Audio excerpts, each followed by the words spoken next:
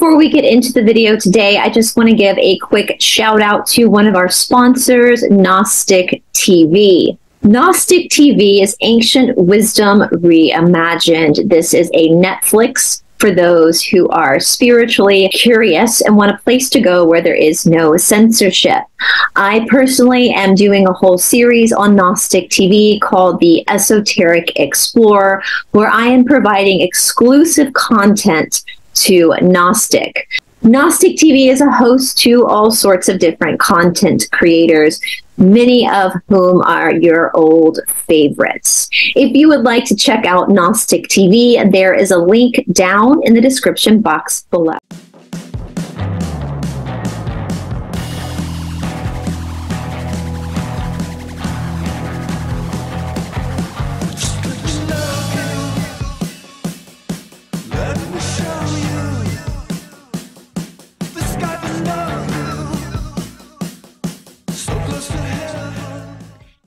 Hello, everybody. Welcome back to Esoteric Atlanta. I almost forgot to hit record because Steve and I were just laughing about the circumstances of the world around us and the shenanigans we find ourselves in in this timeline. And then I was like, oh, yeah, we, we actually were going to record a show. But I'm super, super thing. excited. I know you guys know Steve. He's been on the channel a lot. But I, Steve, Steve, Steve, Steve, you just uploaded your first video to your channel, channel Mystical Dynamics. You already have 53 subscribers, which is amazing with only one video, and you already have 128 views. So you, the views are really important. So you're already off to a really really good start. And as always, guys, I'm going to have Steve's links down in the description box below. So please make sure that you are subscribed to Steve. And I know a lot about what Steve's going to be doing on his channel and his his the theme of his channel and what his his whole purpose is for opening his channel. That's kind of what I wanted to talk about because it's such an incredible idea, Steve. So first of all, where do you want to start? Like who is Steve? Who is Steve? Let's get philosophical first. Who are you, Steve? Well, as soon as I figure that out, you'll be the second to know, and so will everyone else. No, um, as I said in that intro, and I can't believe that I have that many subscribers and that many views for a 30 second video to say hi how are you? I can't believe that. But i mean i i'm your typical midwestern guy uh, who's a star wars fan basically.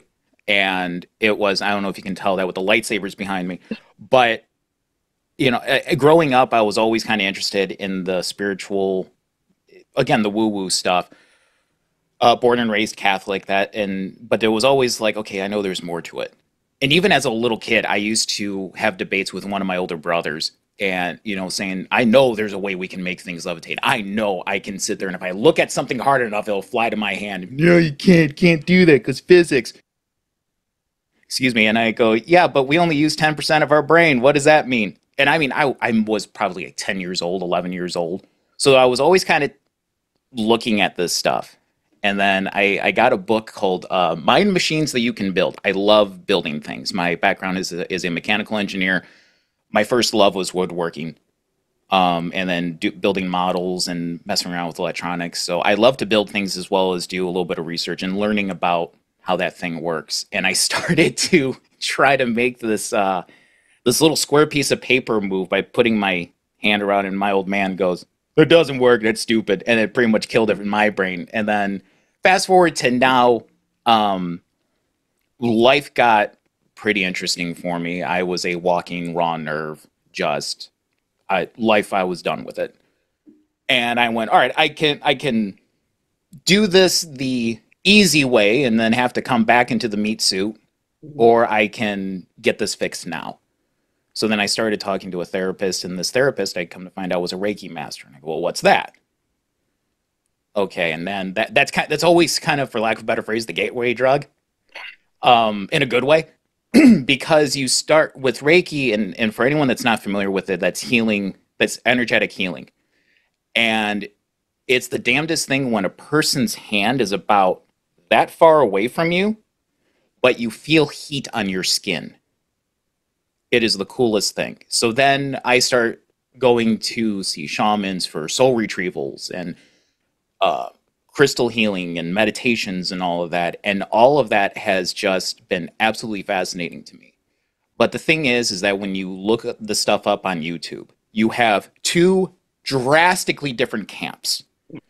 You have the atheistic, for lack of a better phrase, this is all BS, this is crap, what does this mean?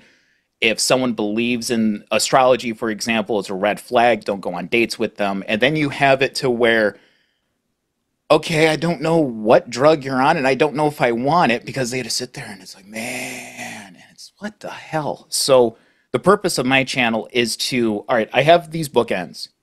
What is it in the middle? Both sides have an element of truth. Right. What is in the middle? And that's going to be the purpose of my channel. And, you know, that's where that's where I came from in a nutshell and how I got here.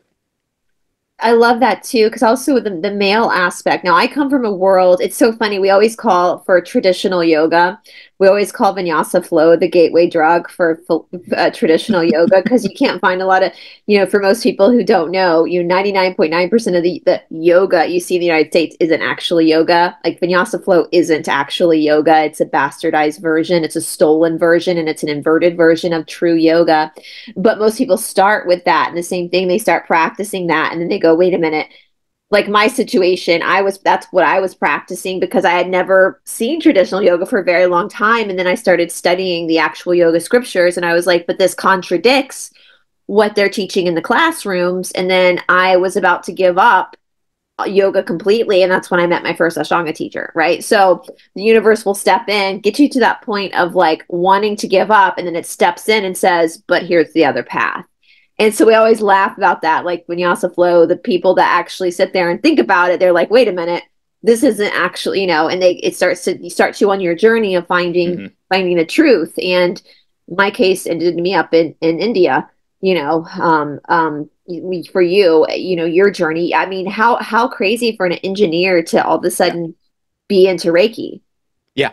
And the thing is, is that there was always that seed, that element that was open to it but it's just it's a it's taking that okay the engineering thing it doesn't learning how something works isn't necessarily bad if you destroy it. This is something that tolkien talks about in, in his in his works of lord of the rings. Uh, i think the quote is he who he who destroys something to learn how to, how it works has left the path of wisdom. You know just because um, you had mentioned on a channel uh, on your channel once uh, at inception there's a spark. There's literally light within the womb and so I looked into it, and they went, "Well, that's because there's a it's a chemical reaction. I think it has it has something to do with I think zinc and maybe calcium. I can't remember, but it's it's a it's a reaction.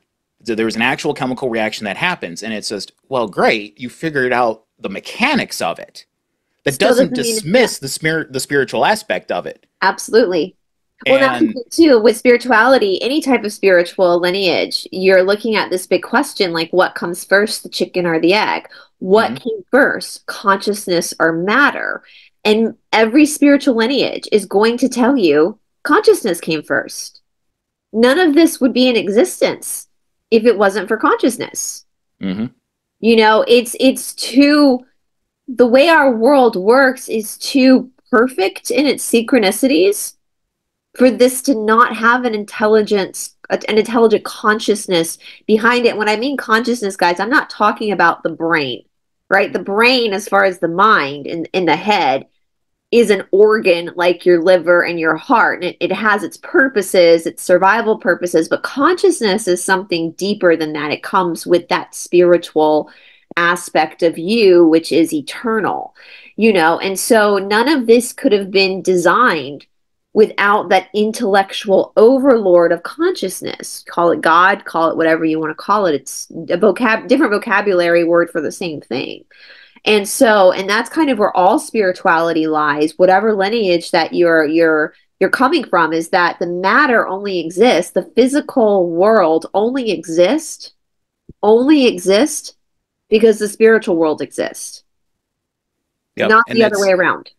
And that's why, you know, one tool that I've learned to use over the years is the five whys, and that is break it down. Okay, thing A happens, why? Thing B happens, well, why? And you get all the way down. You basically turn into an annoying three year old trying to figure this out and understand it. And that's that's the perspective and the approach that I want to take with this. I mean, for example, one thing, and it's great. I apparently come up. I need to keep a pad of paper next to me while I'm driving because the best ideas I have come while I'm driving. Apparently, I got to thinking about astrology. and one thing, and I, Brice, I think you and I have talked about this off camera. I think one reason why it gets a bad rap is the it is used as a way to avoid accountability. Right. Oh, I'm a such and such sign. My house is this, that, and the other, and it, it, y'all, I'm not an expert on astrology. There's multiple, multiple, multiple books on this stuff, and even then, I'm going, what in the world are you talking about? But one thing I've learned, and I this is going to be brought up in an episode down the line, is the it's actually kind of a cheap guide it's kind of like back in the 90s, you had the, the walkthrough guides next to the Nintendo's back in the store. And it was, all right, how do I complete this? The dummy, level? the dummy That's books. What, the, dummy, dummy books. books. Yeah. yeah. this is the, all right, this is what you are. This is where you're at. This is what you need to work on. Yeah. And a lot of people don't see it that way. And it's, you know, another way that I look at divinations, though my first episode is going to be is is about tarot. The divination stuff it's only a compass. It's not a GPS. Exactly. It doesn't exactly. sit there and tell you, all right, turn left here, turn right, you're going to meet the love of your life, and then go forward 500 feet will be your twins. No, it tells you the mountain is that way. Good luck. Yeah. And as you look and you hear the wolves howling and animals just fighting, and you're going, I'm not going to fucking go in there. Fuck this shit. I'm out. That's all that divination is. Yeah. And that's what a lot of this stuff is that I'm finding out. And it's all about energy as well. That's something I brought up in my brief trailer episode. And it's, I mean, I've always, I, I loved the concept of blacksmithing. And it's you, you take steel, this very, very hard material, and I can heat it up and drop it in a bucket of water and it'll split because it, I suck the energy out too fast and that caused the material to contract slower on the, on the outside while the inside is still hot trying to push out and it messes with the forces inside and causes it to split. Yeah. And then so you have a bunch of these half drunk smartasses during the Renaissance looking at these blades that are absolutely gorgeous that have stood the test of time that are in museums and they're looking at it going, oh no, that ain't the right shade of yellow. That needs another 30 seconds. And they put it back in the in the you know in the forge and it's just that's energy too yeah. I mean the basic the basic energy equation it's literally an accounting trill. It's energy in, energy out. You have your potential energy, which is something lifted up and you drop it. Kinetic, you're moving. Yeah. Lost due to work, which is friction. Yeah. The simplest simplest of ideas and I always loved it because that was the break in, sem- in the semester for me because that was the easier stuff. And so you just have to say, okay, it's an accounting trail. Where does it go? Where does it come from? And now you take that idea you have entire sciences back behind it not science as in trademark 2020 all rights reserved but actual scientific process and now we move it over here and say all right how does this work you know what i saw another tweet from someone and they go well what is an energy block and you go that's a good question never asked that question and it's can you measure it like we can talk about block chakras and the energy systems and all of that and i think I think one reason why, because it's always the it's disproportionate women that are into that's into this stuff more than guys. Yeah. My working theory behind that is the is the fact that you have a womb and that entire system because I as and I worked I worked in the automotive industry for a while so I had to look at everything in terms of a system. How does my component affect the surrounding components and then how do they affect mine? So yeah. I have this very system. I have a, literally a systematic way of thinking, and it's okay. So you have this part of the population that literally have a radio receiver for a soul, and you even look at how it's laid out.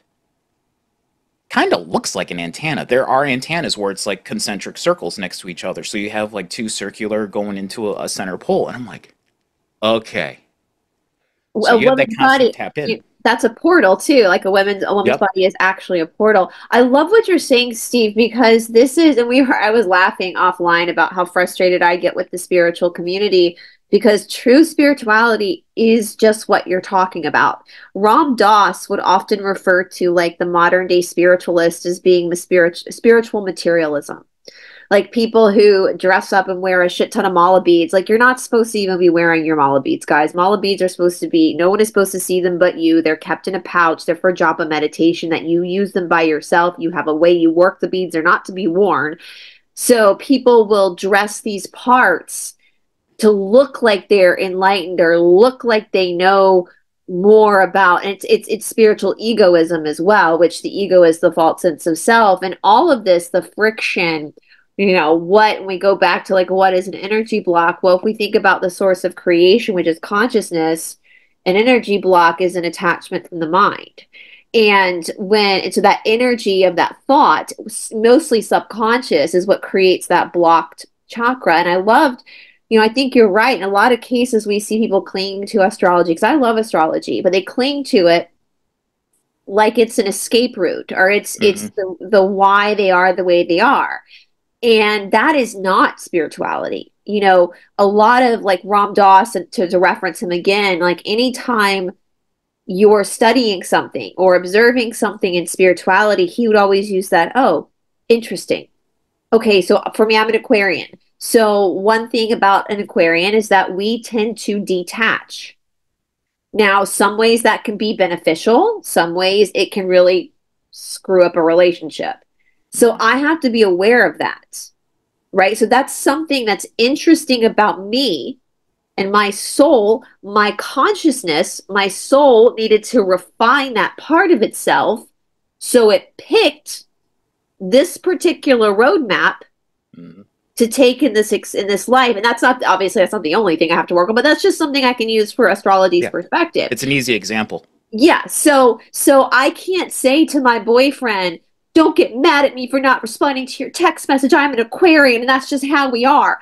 I can't say that. I have to say i acknowledge i hurt your feelings. I didn't pick the phone up right away because i have the tendency to do that. And I, I, acknowledge that that might have to do with my astrological placement and now i'm aware of that.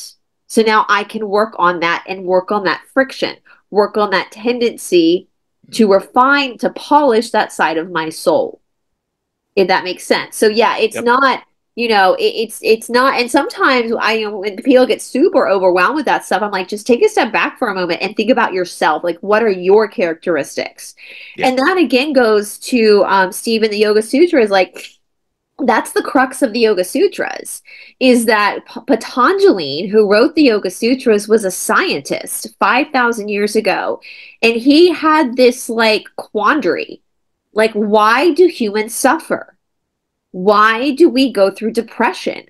Why do we have anxiety? And so the Yoga Sutras, which I I don't know where I'm, um here's my copy right here. Um as a bunch of my books just fell. Here's one of my copies.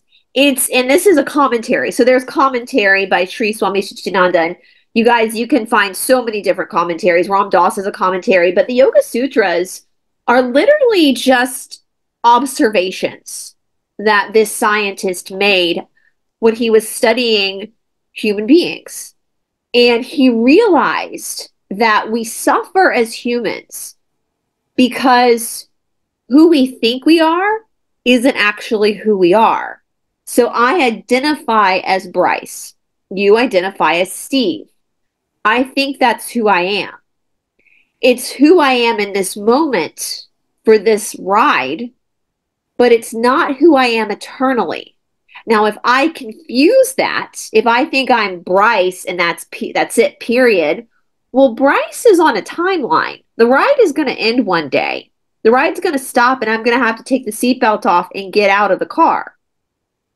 So, if I think that that ride is who I am, but also know I have to leave the ride, then it's going to cause suffering right? Mm-hmm. And so Patanjali goes, well, if we take that suffering and that friction and we lean into it and we can observe it, then we can start to realize, oh, I'm actually the watcher. I'm actually just the soul having the human experience. Yep. And I can use this nervous system. I can use these emotions, this astrology to to fulfill the point the reason why I bought the admissions ticket to take this ride anyway. And there's a teacher, um, Richard Freeman, a, a famous Ashtanga teacher, who would say sometimes, you know, with like the practice of yoga or any really spiritual practice, really what you're practicing for is your own death. so when that time comes, when when of course. yeah, Of course when is. that time comes and you got to leave the, it's time to leave the body. You're like, okay, Yeah. that's fine. There's not that attachment. All right, we're gonna go for debriefing. We're gonna Yeah. go to the boardroom. We're gonna hear the voice. What did you learn? Oh, I should have listened to you. You're gonna listen next time? Probably not. Get down there. Go you know- back again. Take another ride. Oh, I thought you loved me. I do. This is tough love. Get your ass down there. Mm. You yeah know? yeah that's basically you know so the more you can like you when you talked about the whole idea of like unaliving yourself because we can't say the s word on youtube um you know that's such an incredible thing to, to have the observation because that's what all you know i know a lot of religions will say oh that's a sin and you're gonna go no it basically that what you said is what it is like all spiritual um lineages will say the same thing like when you do that you just have to come back again and keep taking the test until you pass like Yeah. it, so you can either do that and cop out now or you can say there's obviously a lesson here and and and that lesson has to be presented in the form of suffering or else we wouldn't pay attention to it mm-hmm. right Well, there's. I'm sorry, Brice. Go ahead. no no no you go ahead you go ahead Well, the and and I know I I refer to I'm going to refer to Tolkien quite a few times in some of my videos because I I love his works. Um, and there I'm even toying with investigating was he actually channeling some of the stuff because especially when you look at the Silmarillion, which is kind of his version of Genesis and the creation of the world that he created. There's an there's a paragraph in there that every time I read it, I adore it more. And it's I'm not going to say it verbatim, but it's basically you have God and then what are basically his angels. They have a jam session and and it, you know it's music. It's called the music of the it's the Lindale, the music of the Ainur. And there's one that puts discord in there, and the and God resets the theme, but he keeps it in there. He goes on and the wave, and now it gets to the point where there, there's so much chaos, it's like waves bashing on rocks. And God stands up and he stops it. And he goes, Y'all are mighty. This guy is more. And I want you to know that no matter how that no matter what you do, you cannot alter the music to my despite. And it will only make my creation that much better. Yeah. And it's when you look at that and you go, okay, I'm going through hell right now. There's a little bit in the, you know, you can look at the disc at um at at despair, which is thinking you can see the unbe- beyond all means, or hope. And sometimes, and it, hope is a very strange thing as well, because you can have the optimistic, oh come on guys, this is great, we're everything is fine. It's literally nuclear winter out, yeah it's that's fine, called it's that's called get better. toxic positivity yeah right? yeah And then you have it where, no, things are bad, but I have to go through it anyways. Yeah. And there there has to be a light at the end of the tunnel somewhere. That's not a train.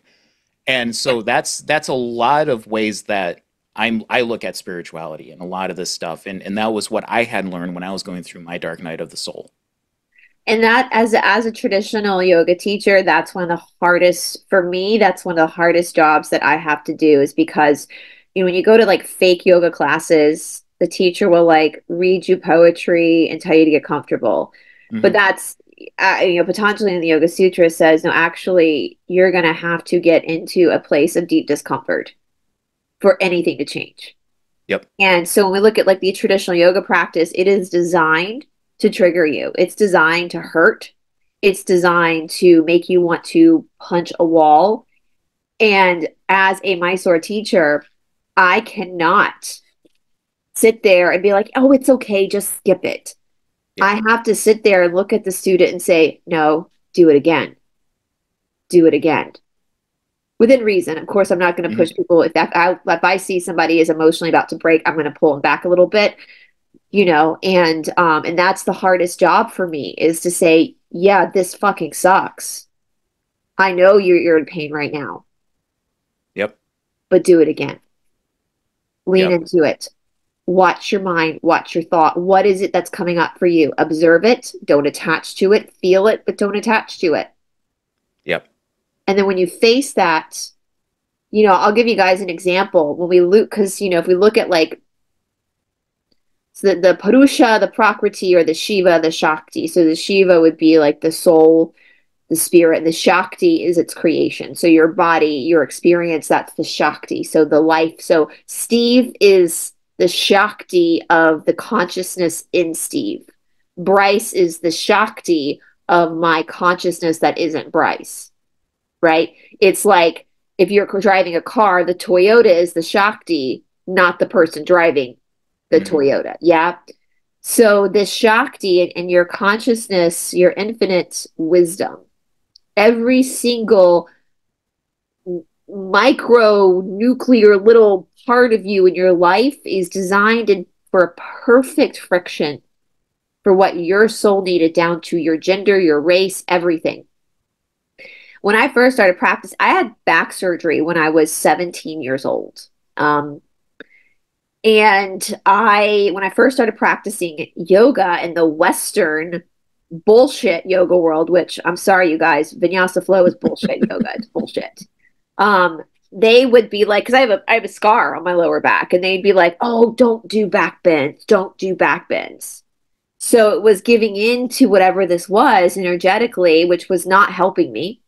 It was still holding me back. And then I got to Ashtanga, which is like drop back. It's like back bend crazy. Ashtanga, there's so many back bends. And um, I remember telling my first Ashtanga teacher, "Oh, I have I've had back surgery," and my first Ashtanga teacher was like, "Okay, we do more back bends then." cool story, bro. I was like, "Never mind, I never have. Did I tell you back surgery? No." And that's the only person I, have told the story in second series. There's a, a deep back bend called Kapotasana, and I punched a teacher coming out. It's the only time I've ever punched someone. I reacted and punched. And but at this point, 18 years later, I can tell you one, with 100% certainty that even though that work was so fucking painful, physically and emotionally, because it's only hurting physically because it's hurting emotionally, mm-hmm. right? That's the that's the conscious the what came first, the egg or the chicken. Now I can tell you with full confidence that that was the most important thing I could have ever done physically in my experience is all those backbends and now i'm a damn good backbending teacher because i've had to like really really work on it and all my stomach issues a lot of my stomach issues all of a sudden started to, to correct themselves with deep backbending too because of the way you're moving the stomach mm-hmm. and that was actually when when a teacher said to me it's it's not it's not backbending it's stomach opening that's when something clicked in my head and i started to shift the way i, I took this shape and so when we're looking at, to, to make a long story short, when we're looking at spirituality, we are looking at that scientific observation of why. Okay, there's friction here. Why? Why? And the only reason, as a scientist, Steve, are you ever going to learn why by not investigating? No, not at all. You can't do it. That's why you have no. the the five what was it the five step scientific process. You come up with a you know you have a hypothesis, develop a test, da, da, da, all the way down to theory, making it into a law. That's why that exists. Yeah, it is a and that's that's the that's science, not yeah. the mm, Twitter told me so.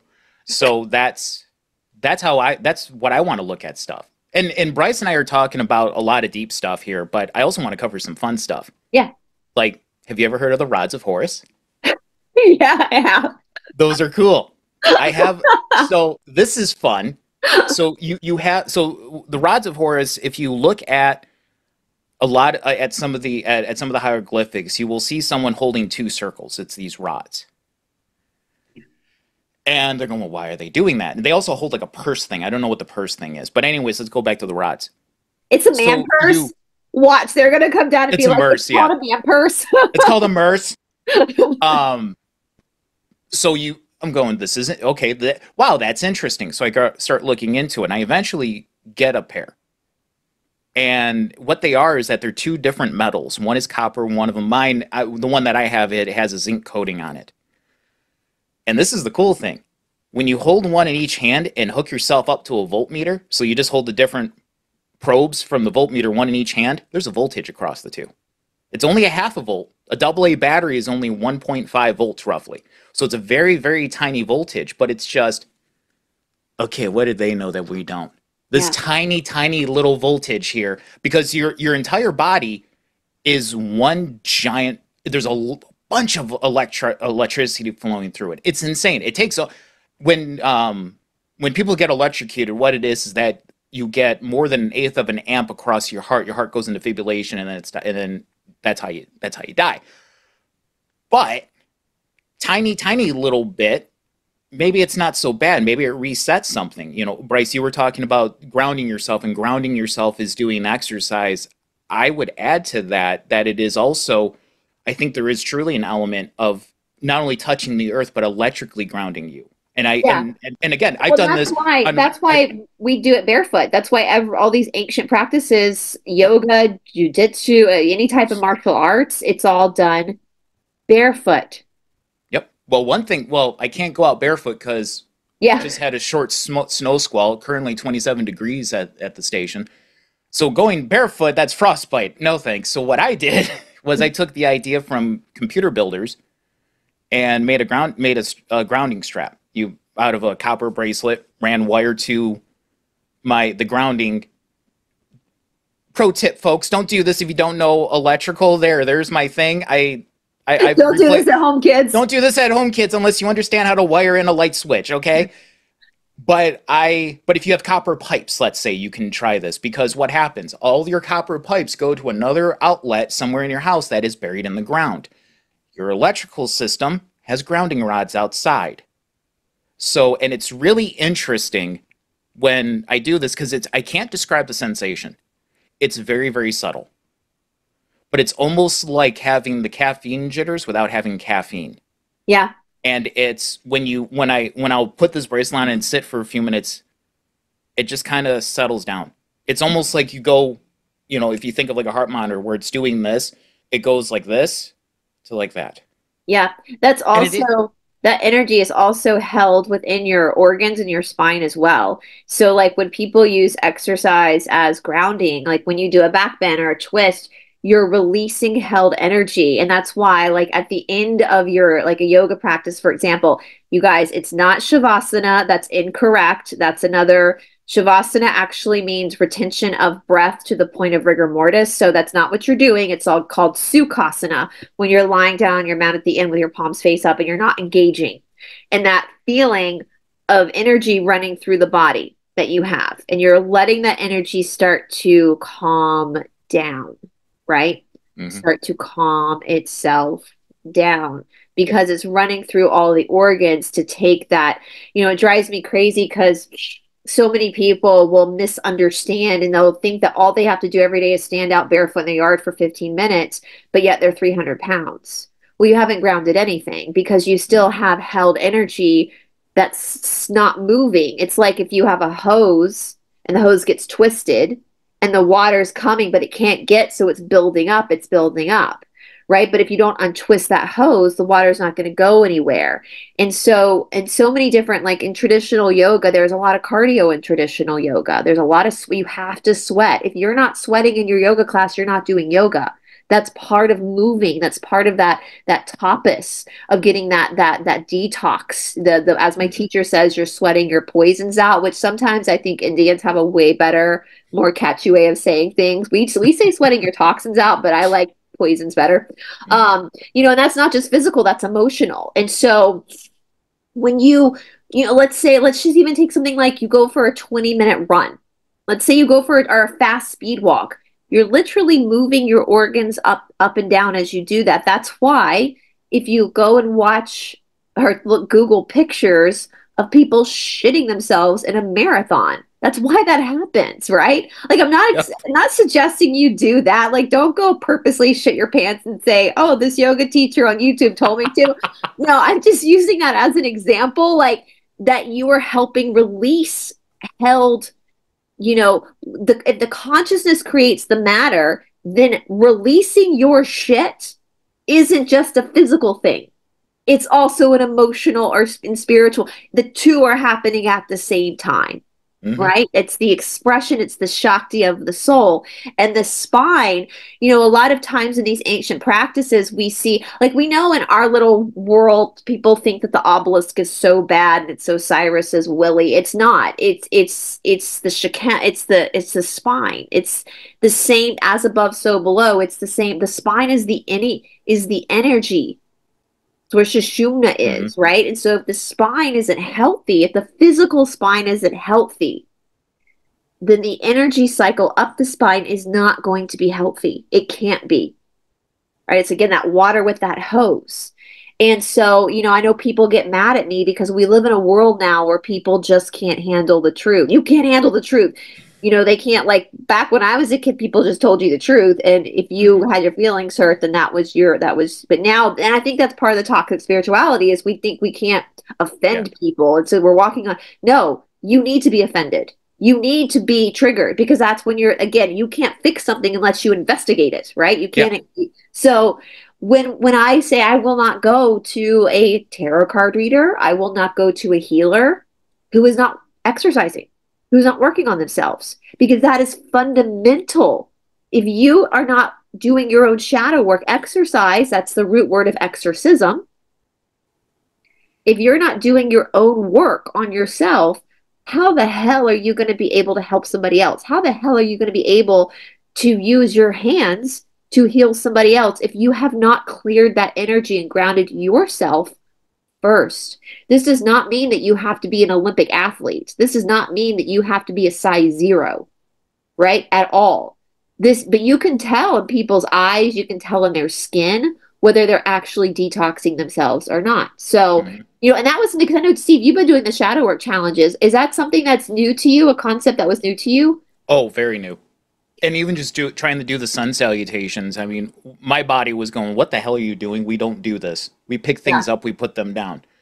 And you know trying to bend and this and and whatnot it was that was a new concept to me. And especially with the sun salutations just how quickly you start sweating. Oh yeah. Well it that's insane. And they're very they're simple moves. They're mm-hmm. very very simple moves. And i'm they're not knocking hard. It. They're you know, supposed to be hard. No, but what I'm saying is the but it like you go down, you go up, and it says, but it's you start sweating real quick, and it's just you get that purging, and you even mentioned in one of your videos that's the fire yeah. rising up and that's why out, it's called a sun salutation. You're not crap you're not worshiping the sun. These Christians yeah. with their propaganda, they it's all fake news. They've never studied this stuff. It's called Surya Namaskar in Sanskrit or sun salutations because the sun is like the mascot, the emblem for the pranic energy. What is pranic energy? It's the rising energy. So sweat, right? Sweat is pranic. Blood flow is pranic.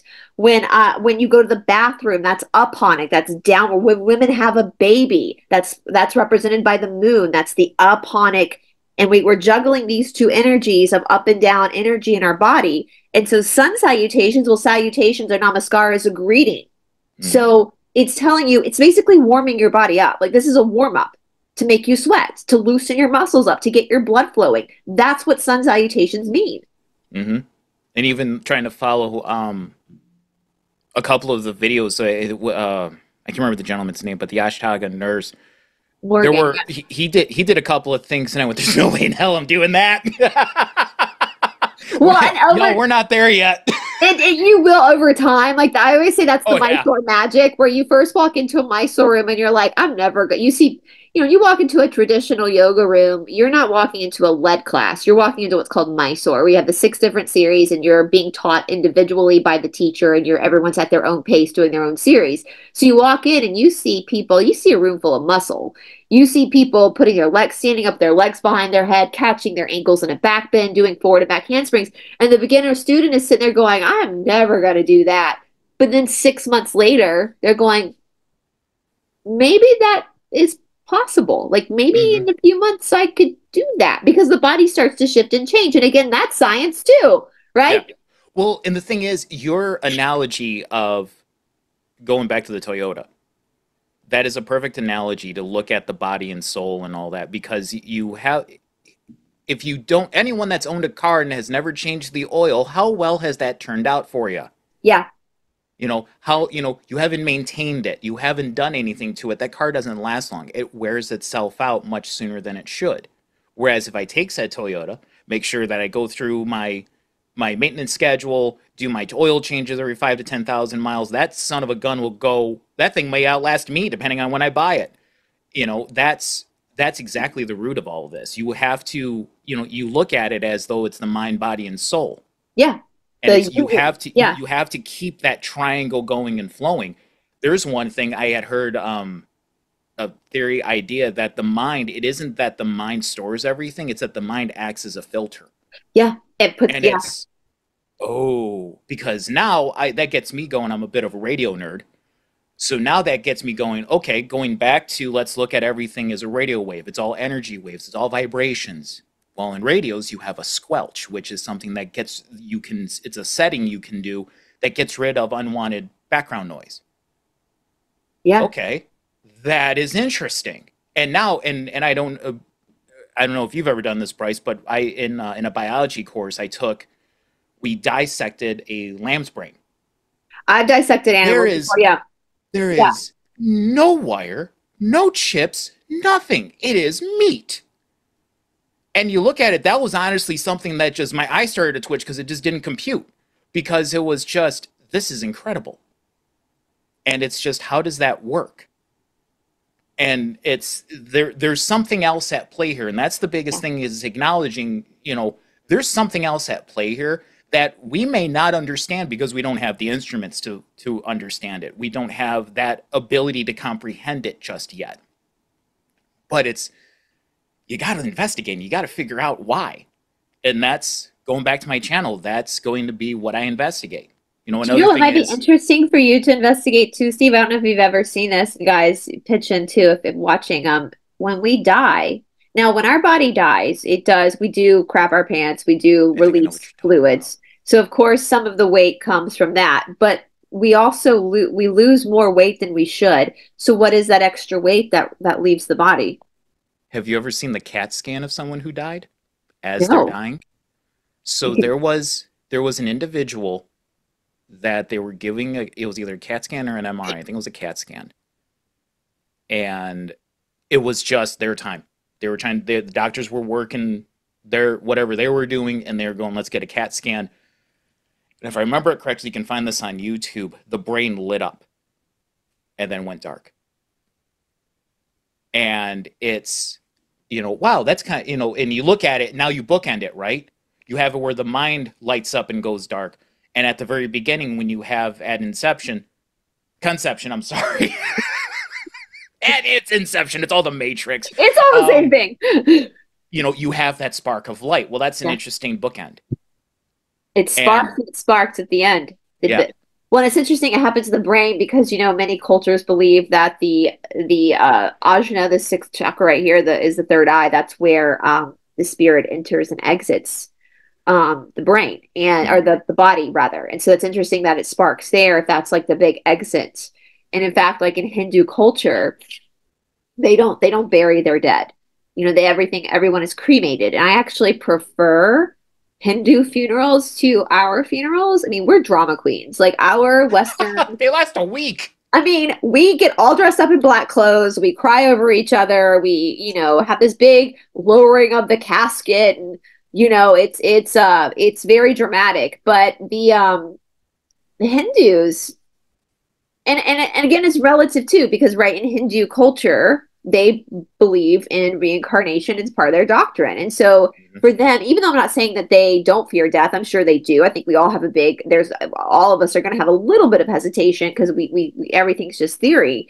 Um, but it's more in their culture to know we live again. So when someone dies, they parade the body. So they put the body, they put grandma like in this thing that they carry flowers and food and they play music and they celebrate while grandma's just kind of flopping around. And then they they go to the ceremonial place, like where they do the the ceremony, and the oldest son of the family is responsible. Now, now I know this sounds gross for us, but if you're used to this in your culture, then this probably is no big deal. Smashes the head to make sure that this is broken. And then they cremate the body to the point where they hear the pop of the skull too, because that's telling them that every little last rem, rem, remnant of the spirit is now gone, is moved on. And I actually really like that. Like I, that's how I want to go. That when I go, that's what I want done to my body because I, you know, it's just the Toyota, right? Yeah. And I want to make sure that every part of my my my consciousness is gone and and done with this life. It's been a fun ride. I've enjoyed it. The fries were really good. Yahoo review for Planet Earth. You know, the beaches. Four out of sunset. five stars. The service was a little slow at times, but everything else was pretty good. The controllers are kind of gnarly, but um, but the beaches were pretty. You know. Yeah, Um, five uh, out of ten. Would do again.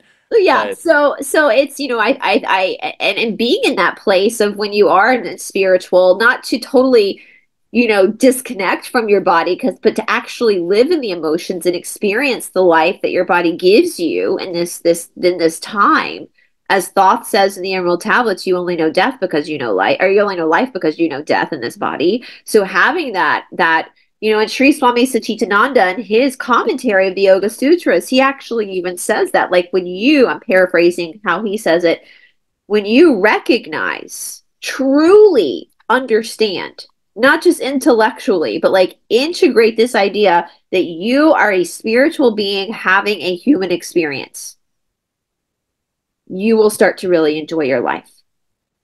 That there's there's a lot of truth to that. Yeah. Because you know it's not permanent. Yeah. And the thing is, is that you can't, because there's a lot of people that'll look at that and, and they'll say that that mindset is terrible because you you get the car you, it opens the door to do carte blanche or whatever you want with Yeah. your life. No. And the thing is, is that there is always the fuck around and find out curve is Well, it's, car- it's karma. That's karma. Like yeah. fuck around and find out is karma. Yeah. If I'm gonna, if I, I could never be a cult leader because Yeah. that would be it. It'd be like fuck around, find out. Yeah. Thank you for coming. You- yeah. Get out of here. Well, Don't the cross the line higher than eight. yeah, we, the more you recognize yourself, you recognize this, you recognize friction, and you because that's car- karma, right? Karma is cause and effect. It's action Yep. reaction, right? So the more you at- recognize that, and the more you study yourself, because you are you are under the laws of karma. Like you, even though you are a spiritual being having a human experience, it's like getting onto that roller coaster. They will not start the roller coaster right until you put the seatbelt on or put that bar down. Right? That's the law. You have to have that down. So you have to play out. And you also, the more you've leaned into your own suffering, the more you've used your own resistance, your own friction as a means to learn and to grow and explore, the more you've leaned into it, the more you empathize for everybody else doing it too. Yep. You actually, even though you you understand you aren't you, you aren't permanently human, you have more compassion. Yeah. You see the soul in your dog's eyes. You see the the, the you can appreciate the lifespan of a tree because you now can step back and see it for what it is and its experience for you and your soul to refine itself in this moment. Mhm. And so yeah, it's not like oh all of a sudden you become a psychopath. Yeah. And you're like, fuck it, it's not permanent anyway. You Yeah, know, I'm gonna like, go rob a bank. No, Yeah, no. you know, You. You, and, and you don't do that, and and that's the biggest thing is the you're given the ultimate independence. Yeah. And with that, you can either use that independence to soar, or yes, drop like a rock. Uh, yeah. Your choice, though. It is literally dealer's choice in this hand. Yeah.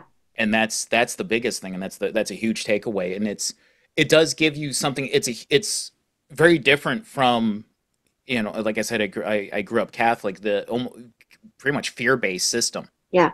That is in there. That if you do this and you know you do A, B, and C, you go against these rules, you're going to hell. These are I one of my brothers. We have you know, you look up the definition of guilty Catholic, his picture's there. And but the thing is though, is that we'll have talks over pizza and root beer that'll go four or five hours. And before it was, it was almost like a double helix where okay, we'll intersect at some points and then but we're different here. And now it's as we've looked more into this stuff and we've talked more, now it's like a parallel path.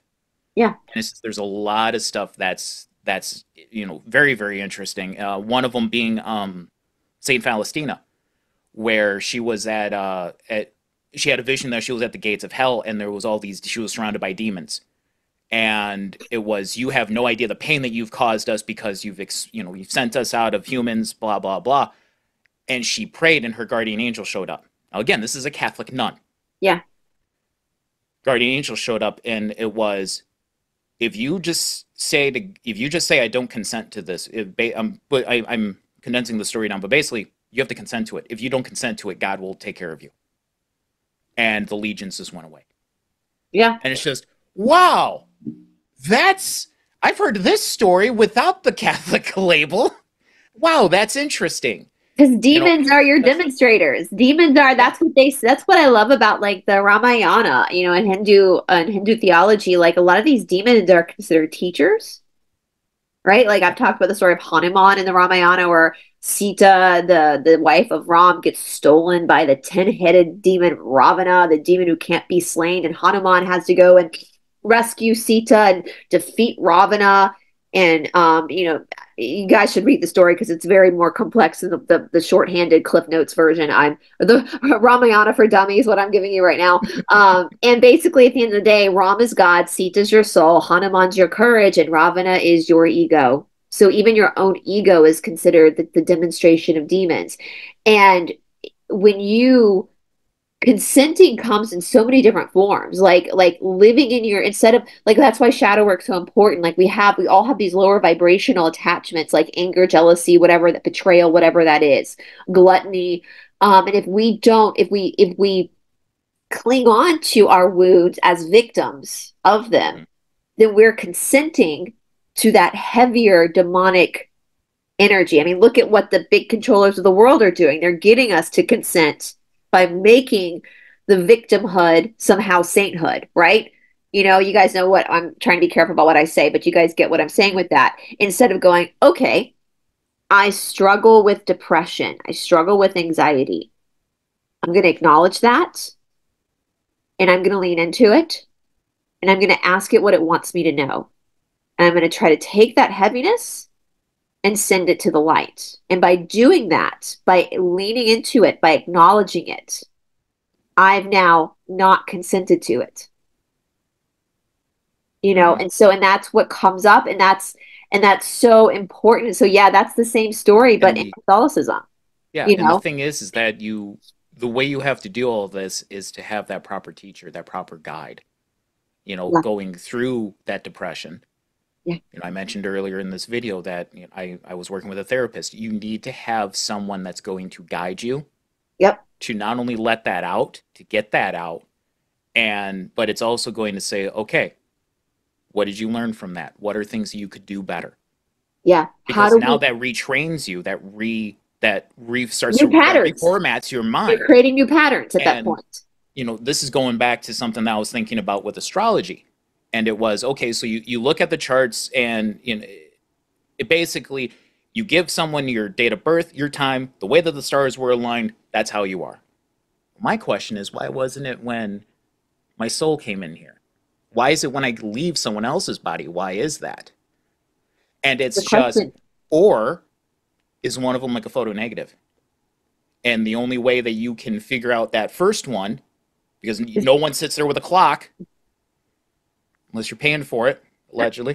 Um, oh, that's gonna get people pissed. Um, but You know what? You you might have have- just you might have just healed someone. There could be someone watching that's been very traumatized by the fact that that might be how they were conceived. and now they have one up on all of us because now they go, I know exactly when I was conceived. Now I can figure it out. but the thing is is the you know you have you know all right so that that placement of the stars is that is that like a photo negative? And so now all right this here is directly correlated to when you came here. And then well when you come you know all right well no it's when you come out. Okay so now that raises the question as you're being born does that energy basically flash program your mind? It's a firmware install basically into your own thinking meat as you're being born I don't know. This is stuff, again, this is why I need to keep a notepad near me when I'm driving. This is stuff I come up with as I'm driving. This is stuff that I've never heard questioned. It could I've be that when you mention. are it could be that while you're in the womb, because you're still within your mother's energetic body and physical body, you could be under the laws of her chart yeah. until you're then independent of that. Then you come under the laws of your own chart. But it's kind of like with astrology too, Steve. Like I was born on February 4th of 1983 at 6:31 p.m. p.m. in Greenville, South Carolina. I'm sure there were other babies born at that time at that, but you can meet someone the exact same birth statistics statistics as me and be totally different from me. Yep. You know, and that's because we're gonna take you know, I, I look at it this way too. You could have like grandma's chocolate chip cookie recipe, her secret recipe. And after grandma passes away, so many people in the family can take that recipe and try to make the same cookies with the exact same recipe, but it doesn't taste the same. But it's the same recipe. So, what is that difference? Yep. And if we're looking at astrology, all astrology is is the recipe. That's all it is. It's not the magic. Yeah. You're the magic. But then you take that and go, okay, so I, I, I'll look at it through the nerd's lens. It's a firmware. Okay, cool. That's the software, but it has to go into my body with my DNA. Yeah. Okay. Now, karma? how does that work? And my karma, which is, you know, they're saying now that DNA, that now there's acknowledgement that DNA holds memory of past lifetimes, right? So now all of that is integrated into the DNA. So it's the software now programmed into the firmware or into the hardware that, all right, now you have this person that's complete. Yeah. And now they go through this experience. You know, so and, that that's how I'm looking at this stuff and this is what I want to investigate and talk to astrologers and say, "Hey, what is this?" We, you know, you know it's interesting too because we have three karmas we're working with, guys. All of us. We have our own karma, which is your karma from this life and past life. So just your lessons, your work.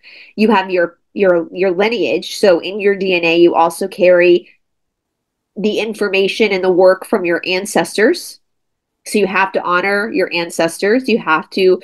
Uh, my boyfriend and I were talking about that yesterday. He had a teacher that would say, if you if you don't honor your ancestors, you carry them on your back. They they end up killing you because you have to honor that. You pick that right. You pick that karma for yourself in this incarnation. You also have the collective karma.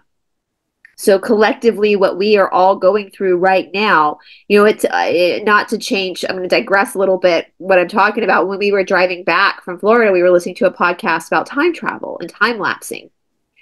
And it's always made me very, I mean, I, there are certain time periods I would love to travel back to. Trust me, I'd love to be a fly on the wall for some of these historical events. But I've always kind of thought about it like me as Brice, you as Steve, we're karmically programmed to be here now, not there then. So I don't know if we would even survive. If you took me and picked me up and plopped me into 1500, would I combust? Because karmically, within my DNA now, I have all this information from you know, the year 1500 to 2024 of all this lineage of people in my DNA plus my own past life experiences in my DNA that could have existed after this point in history, plus the collective information. So, would my body even be able to do that? I'll do you one better. Would that have been factored in to your karma? Would Maybe. That, I don't know. And, and, this is one thing that I've always wondered about time travel and about, you know, a main plot point in a lot of movies and a lot of stories is the you get a vision of the loved one dying and you do everything you can to stop that and they still end up dying anyways yeah. and it ends up being by your own hand. So now that that goes into the question of okay was that is all of that is it all predetermined and is all of that factored in? Yeah. And so yeah could you could you spontaneously combust because you just you crossed the wrong wires in a per, in a metaphysical sense? Absolutely. Or was it there all the time and this is something you had to do and so now this is where you get into this is why the pizza conversations last six hours is because you go down this rabbit hole and it's absolutely fascinating and fun to, and fun you know to discuss. And i'm going to try to do it inside of 10 15 minutes. I love it. you know what i love about you steve? Okay when i was in the fourth grade i had my fourth grade teacher actually it was when my sister came behind me in the fourth grade we had the same fourth grade teacher and i'll never forget this. Miss carroll told my mom that there are two types of thinkers in this world there are people who think black and white, and there are people who think gray. She explained to my mother, mother that my sister thought black and white. She was really good at math and science. She wanted a direct answer, she needed a factual answer. And she said, Brice, though, is a gray thinker. Brice doesn't need a direct answer. Brice is going to be really good at philosophy. She's going to be really, and she was right. This was when we were really little, right? She, these are these are your your lawyers. These are your philosophers. These are your artists. Black and white figures are your scientists. But you, Steve, seem to have both. Yeah, it's a curse. Because like you I, make it sound good. I It's don't need it. I, and I this girl was right. Like I don't need it. I can sit there in the unknown and be like, "That's a good point," but was that program? I don't know. You know, and I'm fine with that. Whereas some people need it direct, and I think sometimes this the well, I think that the fake spirituality and the spiritual egos out there, and the the you know, as we said off camera, what the people that decided they egotistically Star Wars themselves here on Earth Yep. for this time, and they're you know, which is all ego, right? It's all illusion and ego. It's wishful thinking, not intuition. Uh, I can understand why so many people are annoyed by those people. I'm in the spiritual world and I'm annoyed by those people. most of the most spiritual people you will ever meet are some of the most grounded, most. Do you know who Krishna Das is? I want to say I do, or at least that name sounds vague. He's a very famous kirtan singer. I'm not. I'm not really into kirtan. Um, he's contemporaries with like Bhagavan Das and Ram Dass. Krishna Das looks like Ned Flanders. I mean, literally khaki pants, collared shirt, like looks like a dad at like at a t-ball game. One of the most spiritual people you'll ever meet. that is hilarious. So you can't. I always tend to, you know, I look at the Ashtanga world and like my peers in the Ashtanga world, and they're literally in jeans and a t-shirt. They're not wearing mala beads. They're not out there, you know, looking like, you know, the Dalai Lama or like wearing, you know, kirtan. You know, you know, I, Mhm. they're they're very normal looking people. Yeah. because they're not trying to prove anything to anybody else. They're only, you know, the Ashtanga lineage is so hard. It's literally you against you. It's very humbling. And so, you know, I always want to be like, just be like Ned Flanders. Like, don't don't try to to put, don't put on the costume. You're already in a costume. It's your Shakti. It's your body. Well, and even in the Catholic faith, and even says it in the Bible, the when you pray, go to your room. When you Yeah. do a good deed, do it do it secretly. Yeah. It's you Don't- don't broadcast it out. It's that's all of this stuff is is just it's it's it's you against yourself and the other you. It's It, you know, that's or- all it is. um, you are your own resistance. You are yeah. your own demon. You are your own angel. That's that's the big that's the big secret. It's you against you. And I, I was so funny. I had a friend once that because the Ashtanga practice is so freaking hard and it's exhausting. And we were sitting in the lobby of the shala after practice once, like all drenched in sweat. You know, everyone comes out looking like Albert Einstein hair because they're so sweaty, and most people's pants are on back. You go to these vinyasa flow classes, and people have really picked their outfits out and like braided Yeah. their hair. You go to a Mysore room, and people like have their pants on inside out, like nothing matches because it's just so freaking hard that you don't give a shit anymore. You know, hair. You have Albert Well, it's- Einstein hair. It's in the name, my sore. Yeah, it's, not, and it's usually done at super early in the morning too. So no one's even, and everybody else in the room is doing the same thing you're doing. So you're not pressing anybody, you know. Yeah. And um, we were sitting on the lobby, all sweaty and gross, and we're sitting there. My friend, oh, everyone's just like shattered and exhausted. My friend goes, you know. I don't know if Ashtanga just makes me a better person because I'm more spiritually grounded, or if I'm just too exhausted to care anymore. little column A, a You literally column eh? exhausted. Yeah, like I don't give a shit anymore. Road rage, whatever. I don't Yeah. care. I'm too tired to care at this point. But there's kind of some truth to that. Like when you're on the real spiritual path, you don't really care about ego anymore because you're so humbled by your own resistance. You know, I mean, and and you're also humbled by the fact that you're part of a greater whole. Yeah. That's the biggest thing. It's the and we've talked about this in past episodes to where you are a fractal of God. That is Yeah. not to be said that you are God. no you are fractal. You are a fractal of God. So is everybody else. And that guy you're about to flip off because he cut you off and didn't use his turn signal. not that I've struggled with this. They too are fractal. Fractal of God, right?